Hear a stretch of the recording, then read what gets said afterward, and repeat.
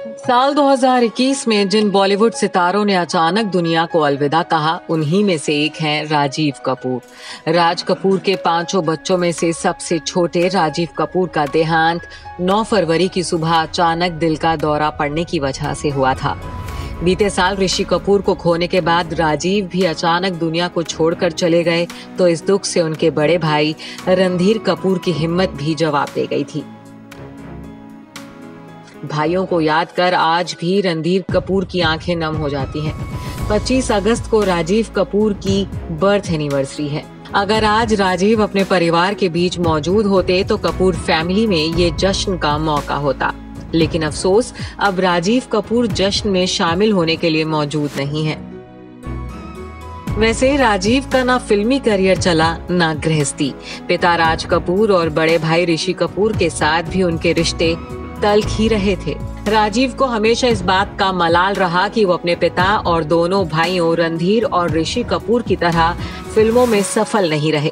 पिता राज कपूर से भी राजीव की नाराज़गी किसी से छिपी नहीं रही थी। फ़िल्म राम तेरी गंगा मैली में मंदाकिनी को राजीव से ज़्यादा तवज्जो दी गई थी, जिसकी वजह से वो हमेशा अपने पिता से नाराज़ रहे।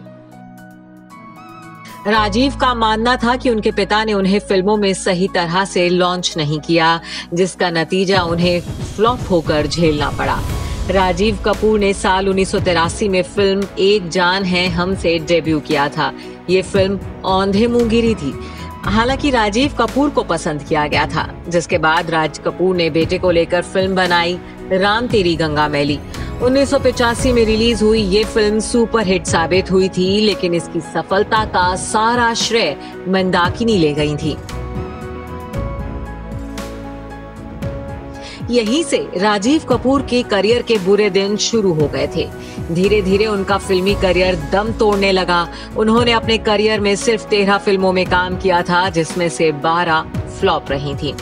वहीं राजीव कपूर की शादीशुदा ज़िंदगी भी कामयाब नहीं रही थी।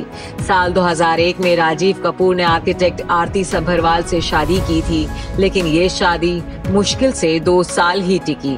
पत्नी से तलाक के बाद राजीव कपूर ता उम्र अकेले रहे। उनकी अपनी कोई संतान भी नहीं थी। नाकामयाब शादी और फ्लॉप करियर की वजह से राजीव मायूस होने लगे थे। बड़े भाई ऋषि कपूर के साथ भी राजीव के रिश्ते कुछ खास अच्छे नहीं थे। मीडिया रिपोर्ट्स की माने तो राजीव ऋषि कपूर की कामयाबी और उनकी खुशहाल गृहस्थी को देख उनसे चिढ़ने लगे थे। दोनों भाई कई मौकों पर साथ दिखते थे, लेकिन उनके रिश्ते में हमेशा दूरियाँ रहीं। ऋषि कपूर ने भी अपनी ऑटोबायोग्राफी खुल्लम खुल्ला ऋषि कपूर अनसेंसर्ड में इस बात को स्वीकार किया था। ऋषि कपूर के मुताबिक, कुछ बातों की वजह से राजीव और ऋषि के बीच हमेशा दूरियाँ रही थी, लेकिन दोनों भाइयों के बीच कड़वाहट कभी नहीं थी। ऋषि का मानना था कि क्षमता होने के बावजूद राजीव ने कभी अपनी प्रतिभा का सही उपयोग नहीं किया। ऋषि ने माना था कि अगर राजीव अपने करियर पर ध्यान देते तो वो ज़रूर कामयाब होते, लेकिन उन्होंने अपने करियर को सीरियसली नहीं लिया था। Report E twenty four